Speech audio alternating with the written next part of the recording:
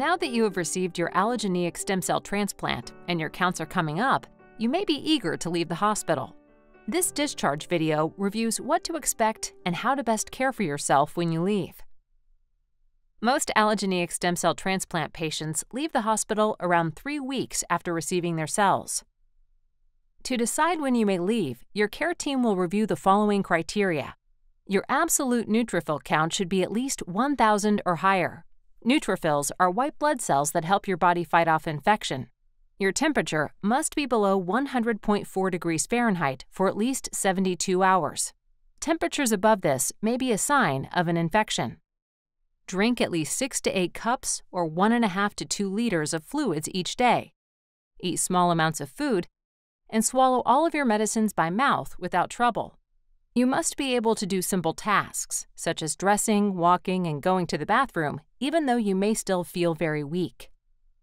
Before leaving the hospital, you must have the following things ready. You must have a caregiver and a local place to stay that is within 30 minutes of MD Anderson. Your caregiver must be available 24 hours a day and able to take you to MD Anderson quickly if needed. Your local housing arrangements must be ready for you 24 hours before you leave the hospital. Plan to stay close to MD Anderson for about 100 days. Talk with your social work counselor if you need help finding housing. Your advanced practice provider will discuss the following patient education handouts with you and answer any questions you or your caregiver may have.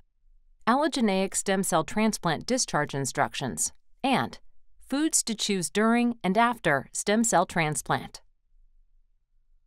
When you leave the hospital, you will likely have your central venous catheter, commonly referred to as a CVC, in place until day plus 90. The CVC stays in place so the care team can continue to give IV treatments if needed, such as blood or platelet transfusions, fluids, and draw blood for lab tests.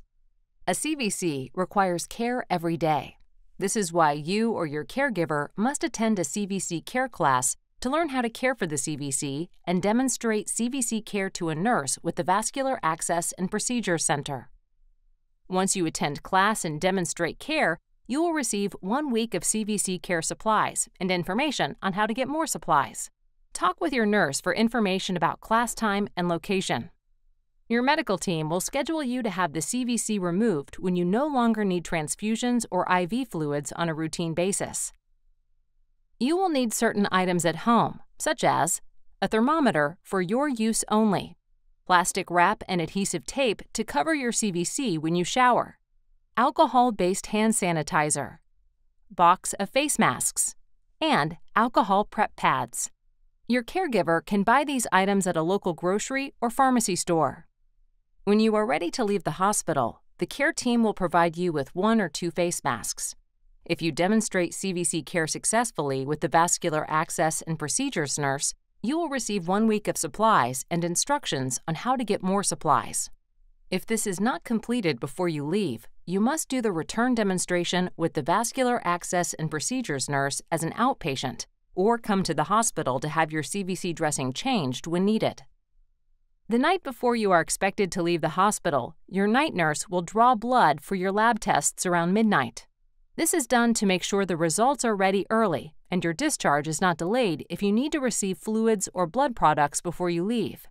On the day you are expected to leave, your advanced practice provider will meet with you to review discharge instructions, answer your questions, and schedule your follow up appointments in the Ambulatory Treatment Center, also called the ATC for short. The advanced practice provider or stem cell transplant doctor will evaluate you again before you are discharged.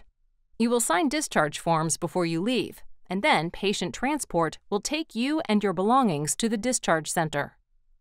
Your clinical pharmacist, commonly referred to as PharmD, will also meet with you on the day of your discharge to review the medicines you must take after you leave the hospital. Prescriptions can be sent to the MD Anderson pharmacy for your caregiver to pick up or sent to your preferred outpatient pharmacy for pickup later. It is important to take all of your medicines as directed. The care team will give you a list of your medicines. Your medicine list may include the following antibiotics to help prevent infection, antifungals and antivirals to help prevent other types of infections, medicines to help prevent stomach problems, tacrolimus to prevent graft versus host disease, and medicines for other conditions. You may also need to take a multivitamin. Do not take any medicines that are not on your list without talking to your care team. This includes herbal medicines, supplements, and over the counter medicines.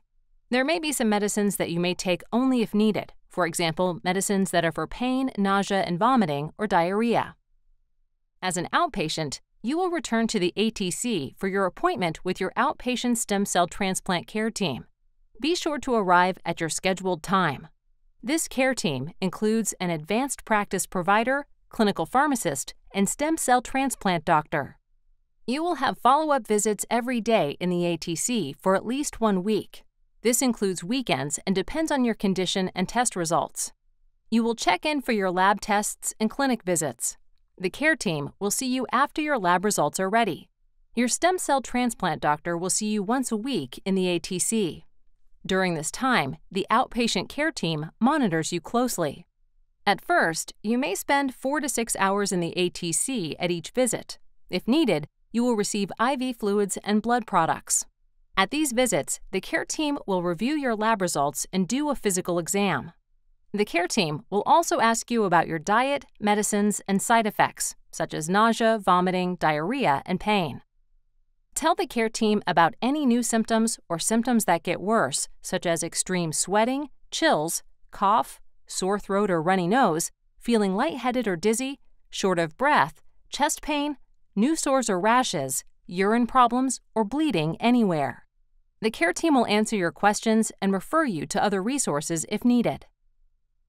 For immediate care, it is important that you go to MD Anderson's Acute Cancer Care Center right away if you have the following symptoms, or call 911 if you cannot get to MD Anderson's Acute Cancer Care Center.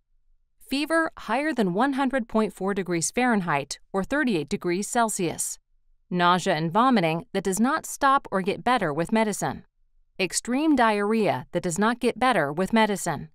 Bleeding from the gums or nose that does not stop or blood in stool or coughing up blood. Pain that does not go away or get better. Chest pain. A cough that does not go away. Short of breath, feel lightheaded or dizzy, or rapid heartbeat. Graft versus host disease is a possible complication of an allogeneic stem cell transplant. This problem can affect many areas of the body, GVHD commonly affects the skin, gastrointestinal tract, liver, and the eyes.